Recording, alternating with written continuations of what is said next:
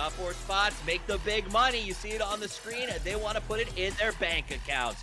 Big shout out to Toomey, Zowie, Intel, and Perrier for making this possible. The roof is opening. The plane is on the air. Will teams be on the road to victory or on the road to the airport? We will find out soon as we head to our casters, the always amazing actualizations of Paper Thin and Toby. Well, thank you so much, Toffees and the desk, the extraordinary experts of elucidation coming at us today, uh, doing a great job getting us prepared here for the week two weekly finals. Five games to decide who's going to come home with that top spot of $50,000, $100,000 total on the line here, Toby. And we get it kicked off with a northerly plane on Miramar. And uh, I couldn't be more excited for this, man. Are we reaching a point now where both you and Toffees have started writing these down just to best each yes. other? Because you're getting incredibly good. you're, they're, they're getting longer and longer and more and more This advanced. is now my prep. We're, we're, reaching a point where you spend the, instead of watching bots and stuff, you're just coming up with crazy different ways of putting all these sentences together. I, I gotta say, it's it's getting rather impressive, but it's also getting pretty extreme at this point. I'm thinking week eight, half the broadcast is just gonna be you introduce like Toffee's introducing over first two circles and you saying thank you for the next two circles. Yeah, like I said, it, it can in theory end there. There is technically enough space. And I've and I literally saw a heat map and that there was a game on the esports setting that ended there. MCG now doing a bunch of damage. Nine and Bullying getting knocked quickly. Zhao Yang Longsker trying to get up on the hill to cover their teammate Summer with a quick rip. Gonna put Zhao Yang down as well. Only Longsker left. He's taking damage from Ibiza on the back of the hill. Just able to get underneath the horizon with four hit points left. Ling Du does fall for MCG, but uh, definitely in that exchange going to be advantage.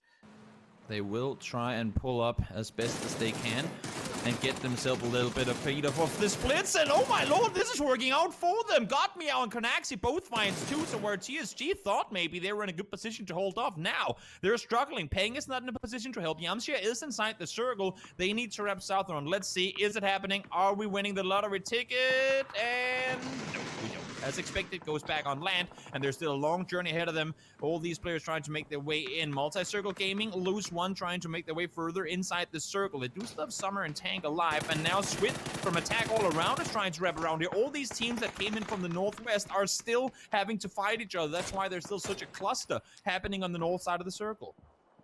Yeah, and this is a lot of field in here, south of where Oath is. Right now, you can see between them and VP is a whole lot of nothing. Very, very unforgiving, unplayable territory for the most part. AAA finds a bit of a ridge, at least, that they can hang behind. Meanwhile, TSG out of the frying pan into the fire. It's Afreeca up on the top of the hill. Already Peng knocked a good stun, gonna come down. Sia spotted, Sia finished. Akkad gets it done, point in the bag for Afreeca, but really Buriram somehow, some way, always finds a way to make you uh, you look silly, and I don't mean that in that TSG did anything wrong. It's just Buriram is just so insanely talented. And look at that prize money, four point eight million dollars so far. All of you at home, you guys are nuts getting those skins, supporting PUBG Esports. You guys are just amazing.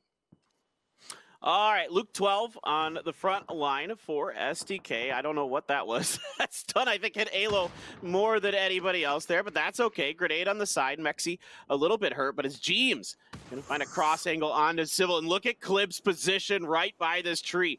Inching closer, closer to SDK. Ooh, Mexi just doesn't even pull the trigger there. He's not ready for it. Luke 12 so fast around the corner, but now Clib comes alive, finds Alo in the back that's surely going to be two down here for SDK. Luke 12 trying to pre-fire Mexi. He does get that knock, but he sees two out the window. He's going to try to catch him. That's one for Luke 12. He's going to come in here and flush this out. There's still another one coming down this hill. Jeems as well rushing in. That Molly's not going to do it. Oh, my God.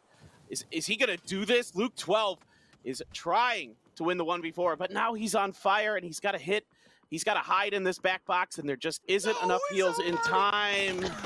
Oh no, and it's his own Molly. Oh boy. His own Molly took him down. In the meantime, now they trade and Gen G on the other side. Two down on each team. Quick and swift damage being done on both sides. That's unfortunate with the Molly, by the way, Luke, but happens. Nice effort. We can go back to that match or that little skirmish in just a moment. In the meantime, now 4AM trying to hold up and see if they can do something to third party this. They have the entire hillside, and they know if we can take down these guys in the southeast, we have more space to play around. They want that space, and they're pushing forward to try and get it. Esta falls down as Zenith now make their approach towards this from the southeast. Yeah, this is a really aggressive push here for Zenith, a third party further outside of the circle with this. 4AM as well, still in the mix up on the top of the hill. And Anonix does find the res onto PO. So I'd say your two top fraggers for Gen G uh, up and running. That's pretty nice to have. Buriram is swinging all the way down into this as well. Anonix finds Xiao Lu, and that's going to be a knock over to 4AM side. PO up on the hill peeking over, see what's going on. Crazy. Time for some smokes. Looking at the Mirado, thinking about their next move. Circle's going to be making a move as well here very, very shortly. But Zenith still underneath Gen G. This is this is uh, this is pretty steep and unfortunate yeah. for Gen G right now. This could have easily come to cost 4 AM. It maybe, I mean, in my book, that was a little bit of an overextend. They could just have followed the circle in and played underneath and held out Gen G, but they opted to push out like straight. Just the angle on the approach wasn't there. Really now, let's see. Anonix will try to get the rest up to his fellow team member and captain. And seems to me like 4AM has a pretty good indication of exactly where Gen G are positioned here. PO should fall. Does he get the flush? Nope, too slow on that one. Naratra gets to claim it from the bleeding. Shoots a bit of the corpse, and now they spot Anonix on the other side, but Anonix able to find the first knock. Will he get the second? He's still peeking and survives. No, not gonna happen. God V able to get him down. Lives with the scare, three kills for 4AM, and now with Liquid pushing forward, they need to deal with the two remaining players from Multi-Circle Gaming as well. Yeah, Tank gets the opening knock onto Clip, taking a bunch of damage in the side from GEX. So GEX gets a little bit of a hill, little bit of an angle down in this fight. Summer has found a wedge that he can fit himself into and remain safe from that fire. Ibiza's trying to work the circle line. Clib's going to try to crawl forward, see if somehow, some way. I don't think there's any way in heck nah, he's getting far enough in. Yeah, exactly. Second knock as well. So that's just not going to happen. Ibiza now under fire from Leo. There's a little bit of help, and forget it. It is going to be Summer the last one alive for MCG, but seven kills. So a win in terms of having a decent point round for MCG, no doubt about it. Canaxi and oh. Kickstart now doing it, and Noadra just finishing the job. Buriram was seven as well.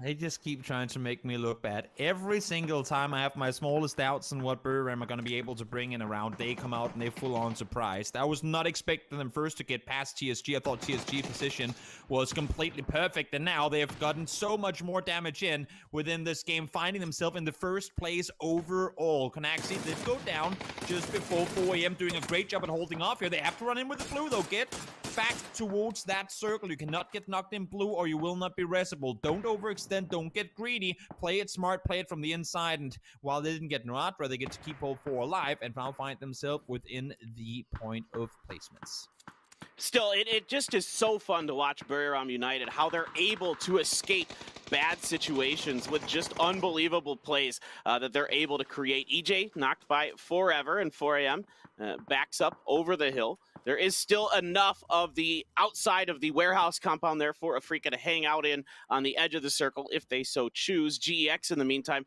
is swinging towards Summer. I think they know they've got a guy isolated, and maybe they heard hmm. and saw the knock in the kill feed and think they might be able to get into Afreeca potentially as well. I'm not sure. They just might work the ridge line, but that's going to put them right into ENCE territory. Look at how much space 4AM has made for themselves on the southeast side of the circle. There's nothing that Virtus Pro can really do to push down towards them. And because they went as aggressive as they did, they now have all the space in the world to hold out the compound. You can see there's nothing you can do if you're a freak to try and run out Hikari immediately taken down. And if they're lucky, for him, some might pressure them to push even further forward. We'll see when the snake trap is going to explode. In the meantime, Snakers finds Jayers. They're doing the exact same thing up towards the northwest, make more space for themselves, hold them out. Snaker succeeds. Relo able to get the final kill. Swit falls down, and that's going to be attack all around out in eighth. Yeah, this is pretty interesting now for Oath. They've got some room to maneuver. They've kind of opened enough breathing space uh, across the field line that they could maybe get in and get out of that extremely dangerous territory. Afreeca now looking in their back. Summer finds a Groza. ENCE working the edge, seeing if they can maybe clear Oath out. Raylo up ahead as he is the play caller. And Scout, it's actually going to be Spyro from the back who's going to get the knock onto him. So Oath trying to make the cross. It is going to be the finish for Spyro as well. Rustenmar going to be knocked by Snakers, though. So now they need to regroup and try to see about getting a res for their teammate.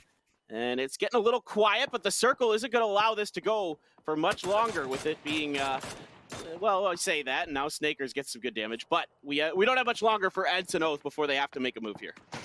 Nah, you'd have to think that fight is just moments away from happening. Summer, in the meantime, got taken down by Forever. Just say, oh, by the way, Afreeca, there's a snake in your compound. I've dealt with him, don't worry. But now you have to come towards us as well. GEX trying to make the force over towards ENCE. I like this idea. They know ENCE were busy trying to shoot towards Oath, and now they might get to catch them off guard. Leo, though, will be the first one to fall. Mao Yi is low on HP, no vest at all. But look at Rustenmar, same situation for him. Low HP, no vest, no helmet either, but does manage to live at least for now. GEX eliminated in the meantime.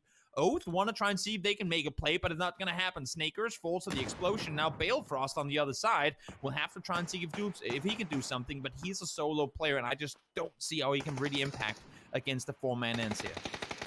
Yeah, it's time to prone and see if you could get away with some luck. And it 4AM has brought it down on top of Afreeca, and they are going to finish the job. Nine wow. kills for 4 a.m. Afreeca out in fifth. Bale getting pressured by Diggory and ENCE. Now, a knock from Hiruzen's going to help. That's Rustenmar. That's one. Grenades exploding all around. Finally, Diggory gets there, but Rustenmar is going to fall to Balefrost as well. A fourth place finish for Oath. So, not a bad start at all to the day for the Oath boys. See if they can continue uh, to find some success and regroup from what was not a good start to the weekly finals yesterday. Smokes out uh, but ENCE really, really getting beat up in these last couple fights, and a good grenade gets Diggory extremely weak, going for that first aid kit in the smoke. Trying to see if he can stay alive, maybe get himself a second place here, but you gotta give credit to VP, you gotta give credit to 4AM. Playing two very different games in this one. VP had the compound for a good while, able to stay put. In the meantime, 4AM, they have been sweeping the entire southeast forever. Nosey's forced to keep on running, just one HP, able to make the run to safety. He's gonna try and nade up towards Diggory. They want to get the snake out of the way so they can deal with the team at hand in front of them. Four teams, or four players alive on both 4AM and VP, as this fight must come to an end real soon with Diggory being down there on the south. Both the teams are trying to deal with the snake, but somehow neither of them able to find him. Yeah, fours are wild here. 4 a.m. VP and Diggory. Diggory just trying to dig himself in and last this one out. Maybe get a little lucky with 4AM and VP needing to fight each other, but the circle is going to force yeah. him to move as well. And you can see Godby keen on that knows full well, and it doesn't matter. Spyro's there to pick up the point. They're hungry. This is going to be fun. A 4v4. Yeah, some decent damage done to Crazy here. I was kind of curious if VP was going to try some vehicles. Didn't opt for it. That grenade, if it's a frag, just goes too far. I thought that might clip Crazy a bit, but Forever going to get a knock onto Lou. Now Forever steps up, gets two. That is VP. Very bruised and battered. Make it three now as it's just Hiruzen left for Virtus Pro. Tries to outdo Crazy. He's going to get that one. They're up and over. It's going to be 4 a.m. getting the first win on the day and really establishing a dominant lead here in the Week 2 Weekly Finals. My my my